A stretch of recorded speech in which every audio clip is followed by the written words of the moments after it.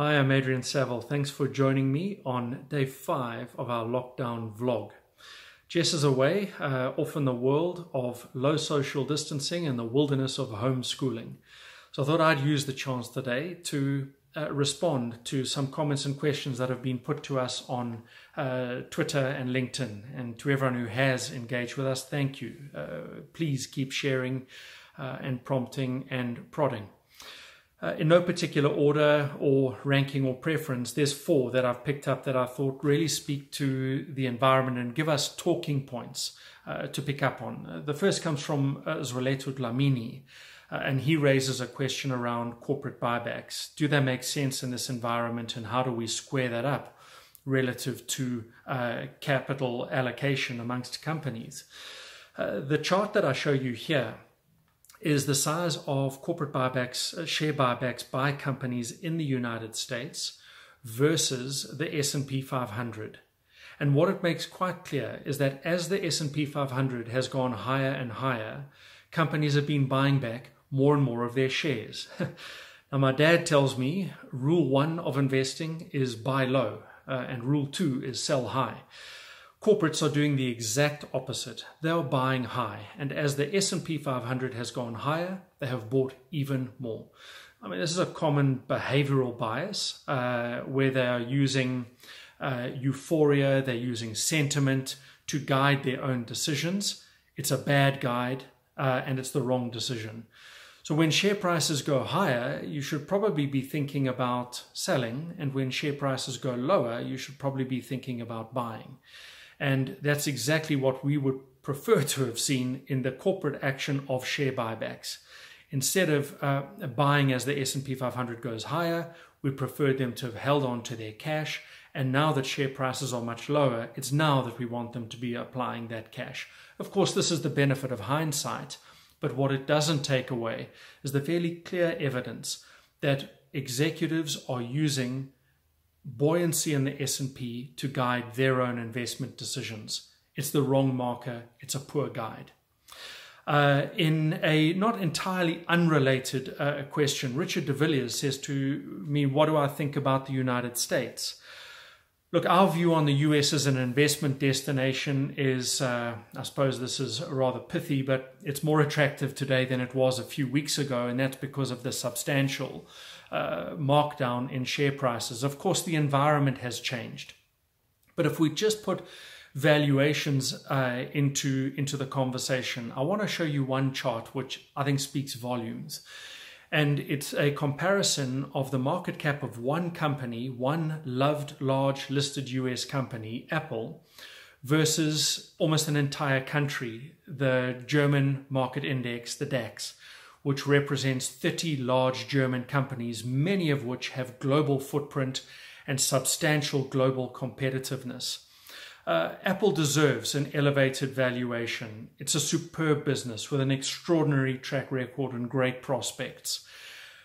But we're not entirely convinced that one company uh, should overshadow the valuation of an entire country, particularly when you put into the analysis that the German DAX includes not just your automakers, uh, Daimler, Chrysler, and BMW, uh, as well as your uh, air business, uh, Lufthansa. Those guys aren't having the best time of it. But it also includes chemicals businesses, which are critical to the healthcare environment, uh, some hospital businesses, healthcare insurers, and financial services companies that have a global footprint and are increasingly digital.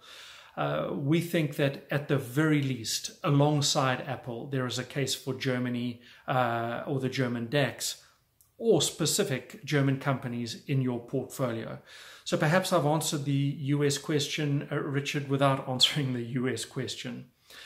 Uh, Mark Tobin uh, asks us about South African government bonds and are they attractive in this environment?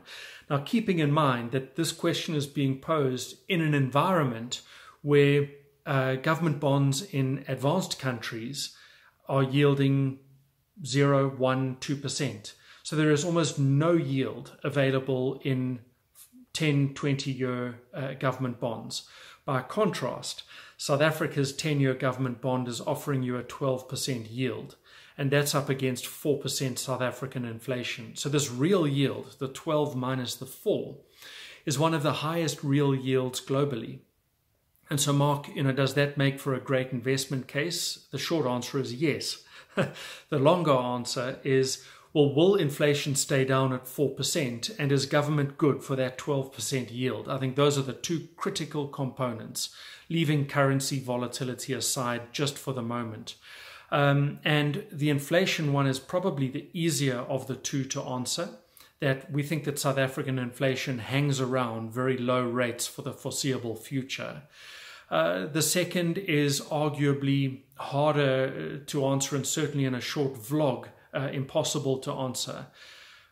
But the evidence that we've got in terms of South Africa's fiscus, the robustness of our policy system, our financial system, uh, the institutional strength of, of Treasury gives us every reason to believe that South Africa is good for that 12%.